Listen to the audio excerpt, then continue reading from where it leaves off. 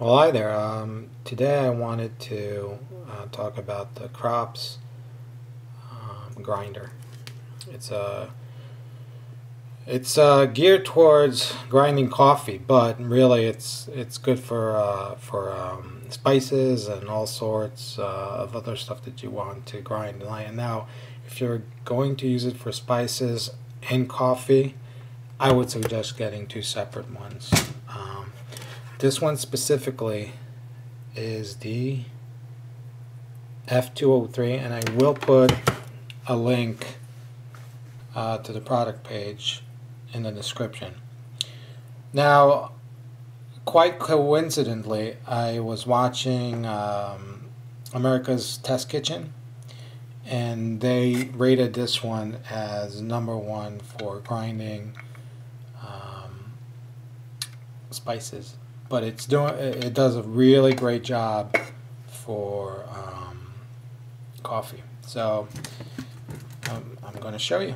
I'm going to show you how it does the coffee. So I have some uh, coffee beans here, and I'm going to put enough for uh, one serving of French press, and I'm going to cover it and. Uh, for this one, uh, about three presses for a total about of about 10 seconds and it will give you the right consistency for uh, French press. And um, uh, if, to see how the French press works, uh, I'll link to the uh, to that video. So here it goes.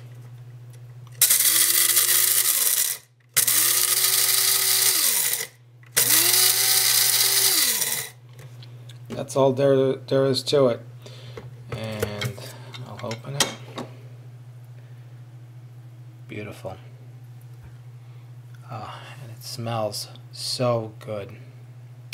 So uh, so that's about it. I highly recommend it for it, it's dirt cheap and I think every home should have one. Uh, and if you're a coffee uh, drinker or uh, um, or you haven't done French presses before, this is the way to go. Awesome, great coffee. Okay, till next time, leave your comments, thumb up, subscribe, and I'll catch you next time. Bye.